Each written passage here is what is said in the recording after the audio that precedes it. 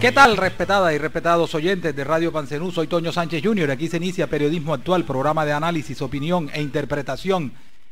Que Dios de verdad le retribuya siempre con bendiciones de prosperidad, alegría, salud, sueños, estos minutos que ustedes nos regalan de estar con nosotros. Los que divulgan la calumnia y los que la escuchan, si valiera mi opción, deberían ser colgados los divulgadores por la lengua y los oyentes por las orejas. Tito Macho Plauto. Les recuerdo que hoy es miércoles 11 de, noviembre del año 2015 y el IDEAM pronostica para hoy en Montería cielo parcialmente nublado durante todo el día. Temperatura máxima de 30 grados centígrados y temperatura mínima de 24. A las 6 y 39 minutos de la mañana en Montería Radio 38 grados y Radio Pancenú el día de ayer no pudimos hacer programa debido a que la irresponsable, abusiva y por qué no tramposa empresa Electricaribe no lo permitió porque quitó la energía, pero los recibos siempre viven llegando aún más costosos. Y ya que hablamos de Electricaribe, por fin un juez de la República se atrevió a emitir un desacato contra su gerente en el sentido de que eh, llegan y hacen lo que les da la gana y le dieron 10 días de arresto, pero me imagino que no lo van a capturar ni lo van a coger. ¿Por qué? Porque la policía y, las, y estos organismos se encargan de avisarle. Vea, mire, tenemos una orden de captura con usted, usted, usted verá a ver si se deja capturar, escóndase. Eh, y eso por supuesto que eso tiene su, su, su, su pago. Miren ustedes lo que sucedió en Purísima. 20 días antes del cierre de campaña ya se sabía de la orden de captura contra uno de los aspirantes. Y quien tenía la orden judicial, a quienes se la entregaron, yo estoy seguro que les tuvieron que, que haber retribuido el gesto, porque ese candidato se subió al cierre de campaña y ahí había policía, había de todo y nadie, y no pasó absolutamente nada. No pasó absolutamente nada. Es más, a los policías los premian hoy, yo creo que por eso. Entonces, pero no importa. Aquí lo, interesante es que un juez de la República ya se atrevió a tutelar los derechos de un ciudadano. Un juez de la República se atrevió a que sí incurrió en desacato este funcionario de esta empresa española y que tiene 10 días de arresto. Falta ver si los va a pagar o no.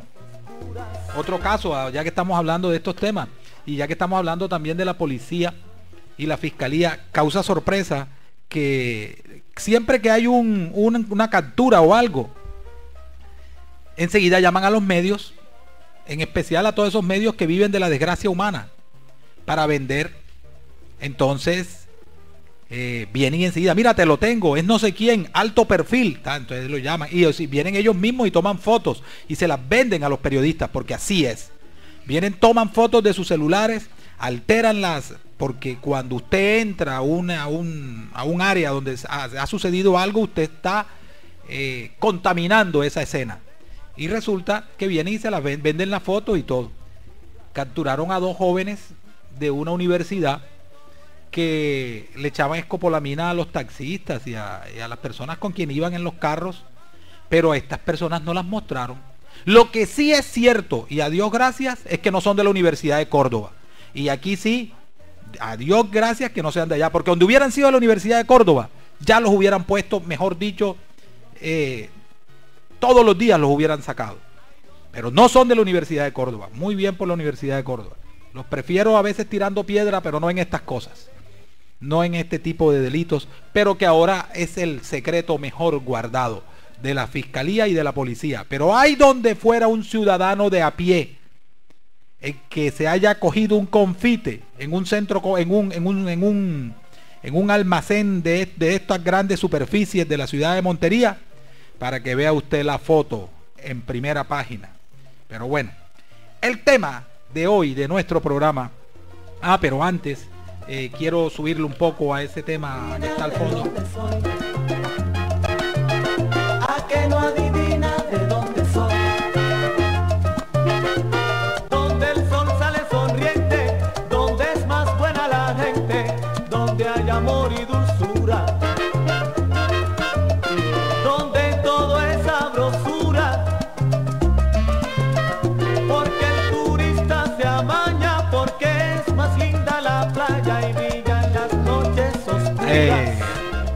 Compañero que tenemos hoy aquí nuevo eh, nos dice que hoy es el Día de la Independencia de Cartagena, entonces por tal razón tenemos en el fondo musical a ese tema de Juan Carlos Coronel, mi tierra, y dicho sea de paso, esperemos que se siga recuperando Juan Carlos Coronel después de ese accidente y volverlo a ver montado en la tarima haciendo lo que mejor sabe hacer, que es cantar y poner a disfrutar a la gente y a todos los cartageneros y bolivarenses.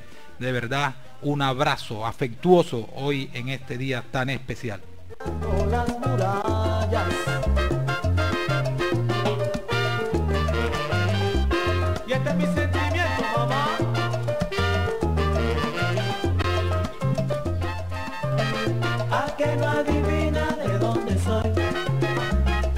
Bueno, y el tema que nos compete el día de hoy, quiero leérselos, leerle el nombre de lo que vamos a hacer. Vea, y este son un pomposo nombre.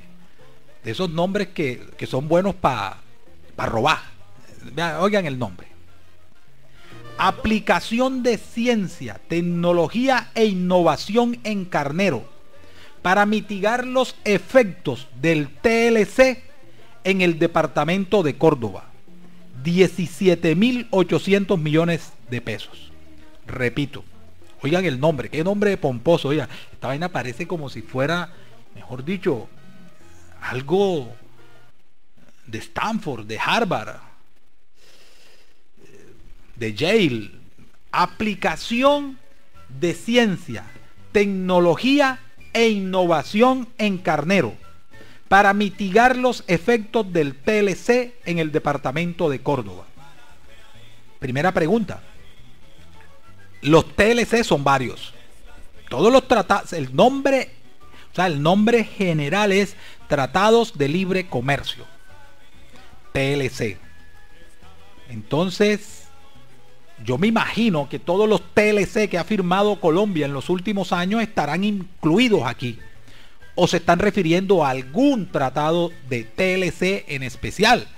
Por ejemplo, existe un TLC con Chile, existe un TLC con Estados Unidos, existe un TLC eh, con algunos países eh, de, Asia. Entonces, aquí es la, es la gran pregunta. Y vale 17.800 millones de pesos. Este proyecto empezó con el desaparecido Jairo Zapa.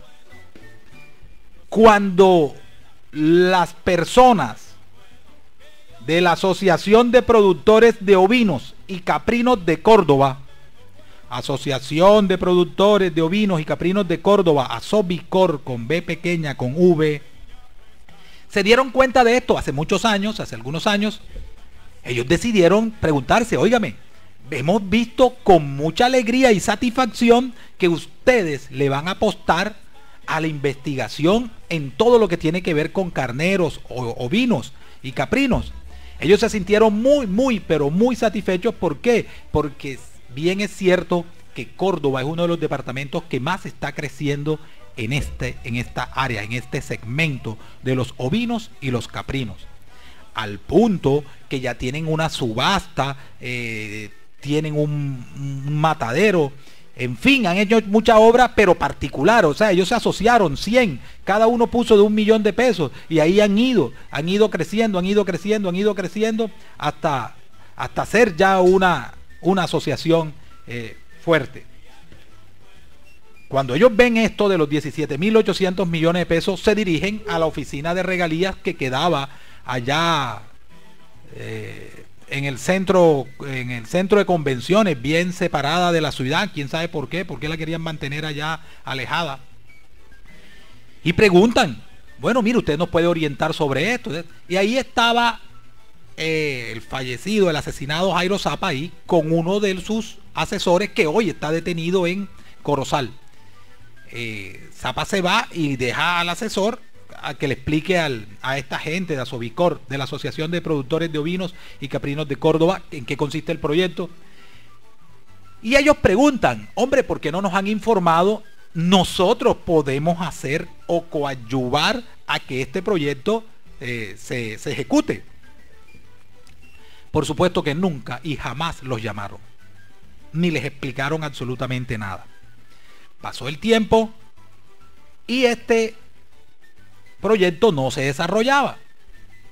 Sigue pasando el tiempo y ellos empiezan a preguntar y empiezan a preocuparse en la gobernación de Córdoba. ¿Y por qué empiezan a preocuparse? Hombre, porque ellos están preguntando. Yo le hago una pregunta.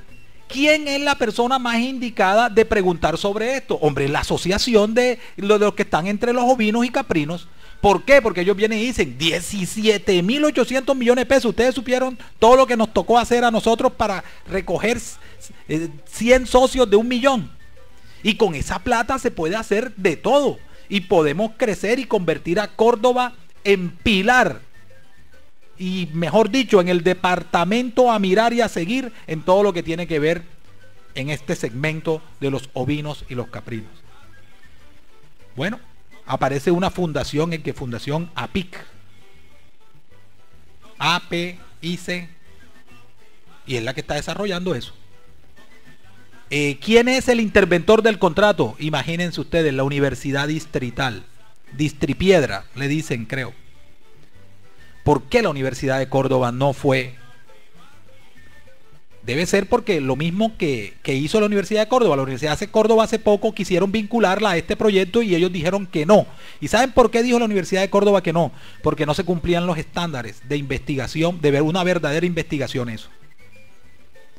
¿Dónde están esos 17.800 millones de pesos? Bueno, eso lo tenía una fundación de ENAO, el que está sindicado del asesinato de Jairo Zapa.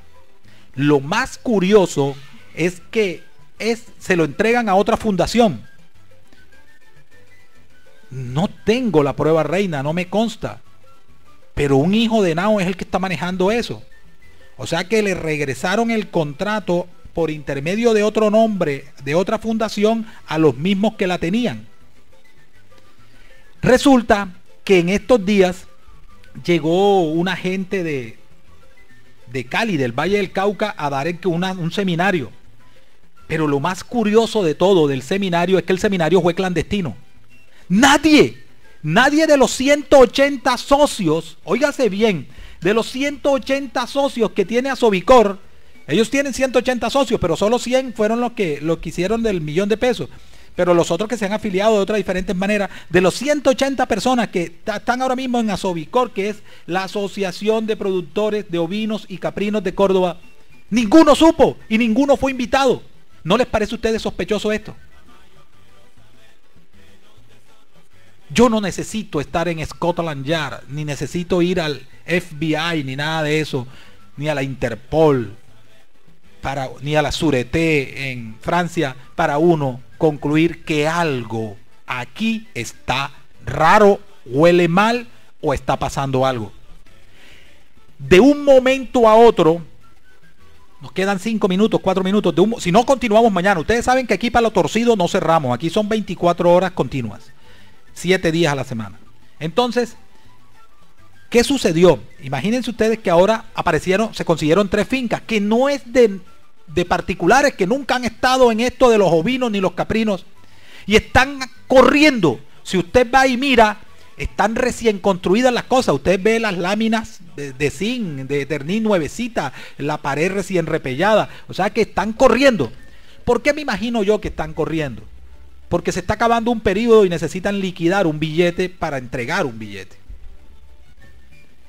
Y yo pregunto, miren ustedes cosas como esta. Tienen que entregar tienen que conseguir 500 productores. Óigase bien, 500 productores para entregarle 25 hembras. ¿Saben? 25 hembras de ovino y un macho. 25 hembras y un macho, o sea, 26 cabezas. A 500 productores. Cuando usted utiliza, el contrato dice productores. No dice otra cosa. O sea, vamos a interpretar las palabras con su, con su, eh, con su significado. Y su significado es productores. Si a mí, pero todos están recogiendo gente que todo el que quiera. ¿quieres tener 25 carneros y un macho? Sí, dámelo. Bueno, listo, aquí están.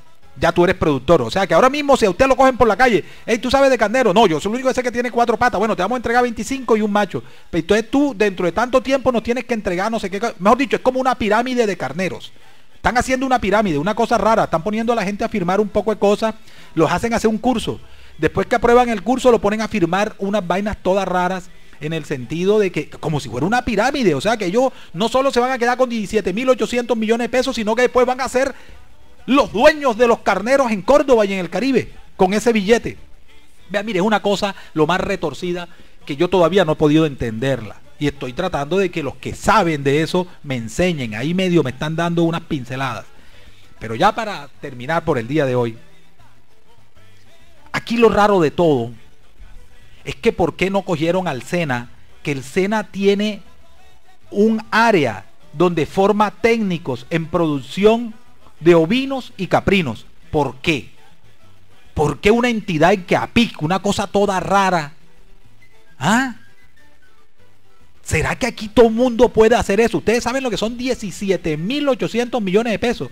Lo que se puede hacer en contra del hambre y de la pobreza y de la exclusión en Córdoba con 17.800 millones de pesos. ¿Quién se está quedando con este billete?